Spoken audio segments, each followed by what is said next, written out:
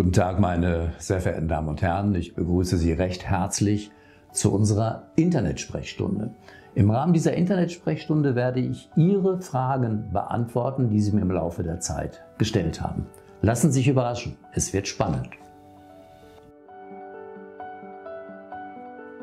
Viele Patienten sind sehr verängstigt und haben Bedenken, zum Zahnarzt zu gehen. Es gibt eine ganze Reihe von Patienten, die über Jahre Jahrzehnte nicht zum Zahnarzt gehen, weil sie einfach Angst vor der Betäubung haben, Angst vor dem Eingriff, Angst davor, dass der Zahnarzt so nah ist. Das ist heutzutage vorbei.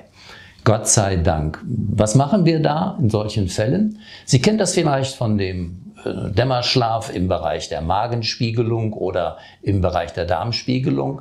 Das Stichwort ist Dämmerschlaf. Das heißt, Sie kriegen einen Zugang gelegt und Sie verschlafen regelrecht die Behandlung. Wachen wieder auf, und die Zähne sind mehr oder weniger perfekt.